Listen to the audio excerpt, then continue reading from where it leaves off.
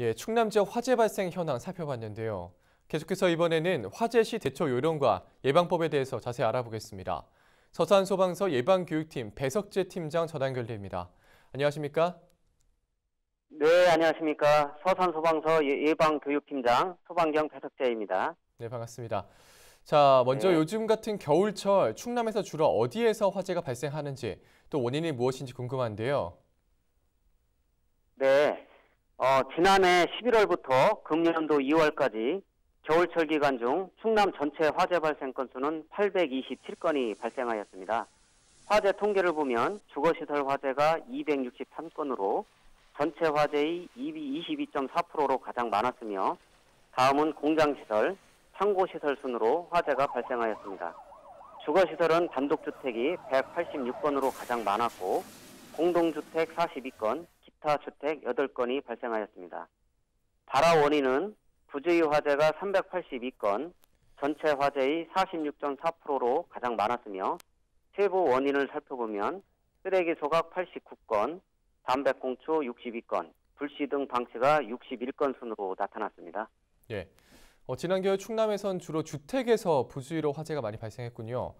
어, 실제로 네. 불이 났을 때 좀 어떻게 대처를 하면 좋을까요? 예. 어, 화재가 발생하면 당황하지 말고 침착해야 합니다. 아, 우선적인 행동 요령은 불나면 대피 먼저입니다.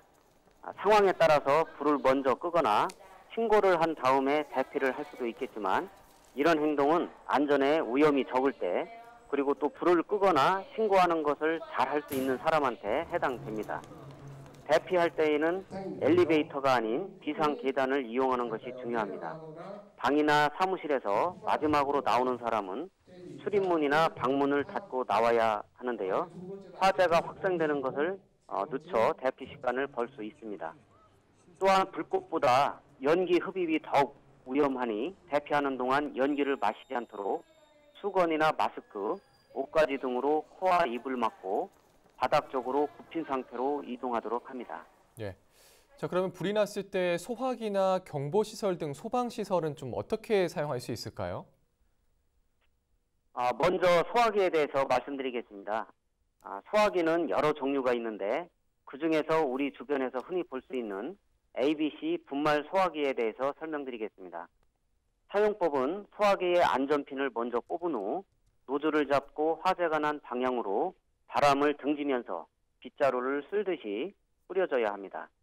그리고 2017년 6월부터는 음식점, 다중이용업소, 호텔 등의 주방에는 화재에 적합한 주방용 K급 소화기를 의무적으로 비치해야 합니다.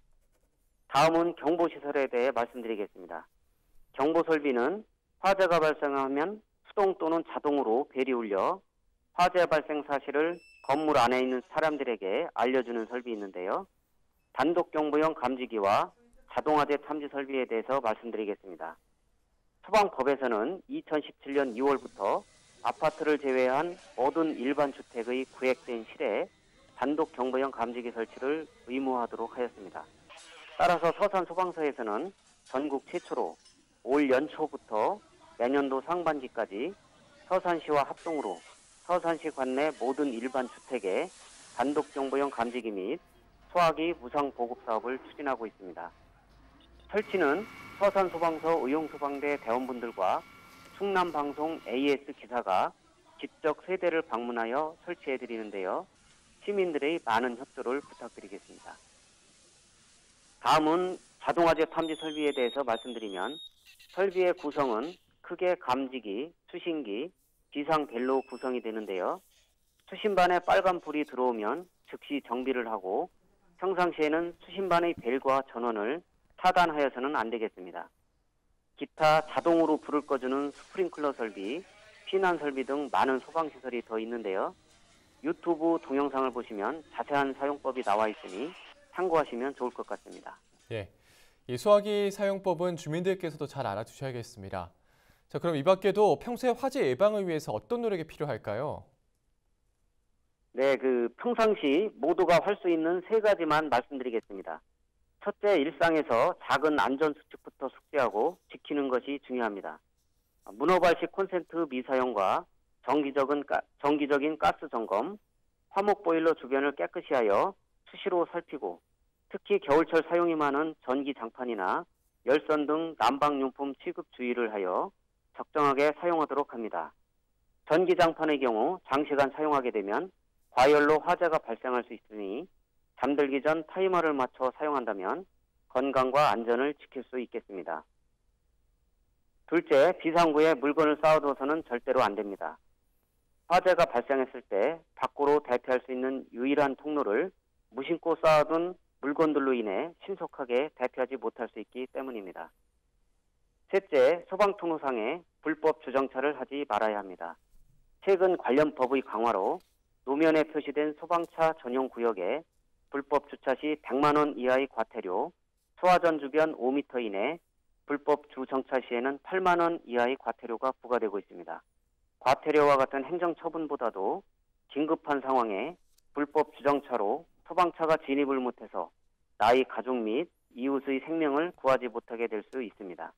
네. 자, 이제 마지막으로 방송을 통해서 전하고 싶으신 말씀이 있다면 한 말씀 해주시죠. 네, 그 화재는 예방이 최선입니다. 그 각 가정 및 주변에 화재 위험은 없는지 다시 한번 살펴주시길 당부드립니다. 어, 끝으로 모든 연인들과 가족이 모여 즐거운 성탄절을 보내시게 될 텐데요.